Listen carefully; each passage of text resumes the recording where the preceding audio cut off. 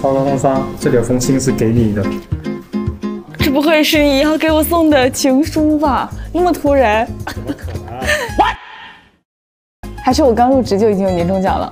你看一下啊，期待一下，这什么东西？呀，又是试驾的邀请函。荣威新出的车，一台 SUV，这是第一系列，那是新能源。我觉得这车这邀请函非去不可吗？你都不需要去试啊，你过几个月路上网约车全是这台车。啊，快过年了，我真的不想出活动。如果这台车最后真能打到十三万多价格，混合动力一千三百多公里续航，你看它行吗？Hello，大家好，我是商。要我说啊，荣威在新能源不绝步伐内迈的真矫健啊！在成都车展上说需要三年发八车，现在已经不知不觉来到第三款了。车前段时间第一期的混合动力版啊、纯电版，现在第三款车也是首款 SUV。今天咱们来看一下荣威的 D5X DMH。像 D7 啊，就有纯电还有混合动力版。我之前怎么区分？就是看它前脸的这个灯组造型，像是纯电呢，还是那个眯眯眼然后；混合动力就像这样的狭长型。那像咱们今天看到这台 D5X DMH 呢，因为也是混合动力版本嘛，所以这种狭长灯带，而且呢，像是新能源常见一些贯穿的设计啊，它也是存在着。但是呢，它穿了又没完全穿，因为你仔细看，它中间是做了阻断的。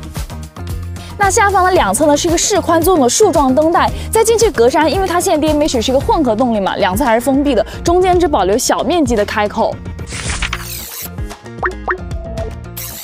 腰线呢略微上扬，但整体看还是平直挂的。那不管说车顶啊、车尾啊，也没有做悬浮车身，整体的感觉设计上就能猜出，并不是那种运动激进的，但还是有一些很年轻、很新的东西，比如像隐藏式的门把手，然后同时在车辆的下方翼子板、行李架的位置是做了银色涂层，同时呢在车窗的周边是有银色镀铬进行包边。另外看这儿，这回采用了全新款式轮毂，银黑撞色。像这台试驾车十九英寸，但我知道它是能选装二十英寸的。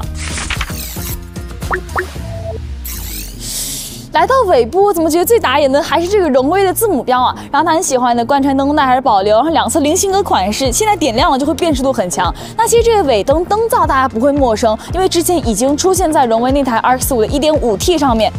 今天整个外观感受下来，我觉得它的设计是那种沉稳的、优雅的，然后中规中矩的。那官方是说，他希望尽量用少的元素去实现更加高效的沟通。中华文化博大精深，这可能就是说话的艺术吧？啊？我说这台车是我觉得这个价位里边性价比最高紧凑型 SUV，这内饰设计真的加了特别大的分。首先，特别大面积的仿麂平绒材质，你看在这儿，那不管说方向盘，然后门板处、面板处，它只要你锁到之处，都是有软性材质进行填充。那另外呢，在内饰方案上，它有浅色和深色两个主题方案，这台是浅色的，但它也不是单一的就米白色啊平铺直叙的，它又加了一个撞色拼接，我觉得看起来是更加简约和耐看的。我就喜欢捣鼓一些新的东西，比如像你看这台车的后视镜，它边框就特别窄。我作为驾驶员坐在主驾驶的位置，我就觉得视野特别的宽阔，但还是有些要吐槽的，比如说方向盘前边、副驾驶前边特别大面积的钢琴烤漆，每次碰到这种钢琴烤漆材质，我就只能一首歌送上。你妈妈是我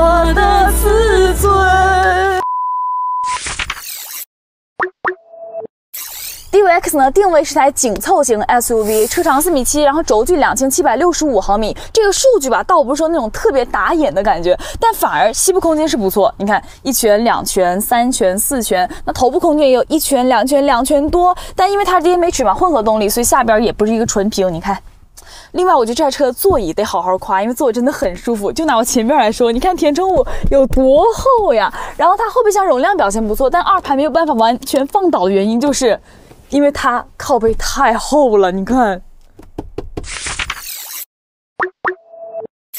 性价比高，除了要坐的舒服，同样也得开的性价比高。那这就得提到上汽全新研发这个 DMH 的混合动力技术，它还是 P 一 P 三电机串并联，所以可以纯电啊，然后可以发动机直驱啊，也可以混合动力去行驶。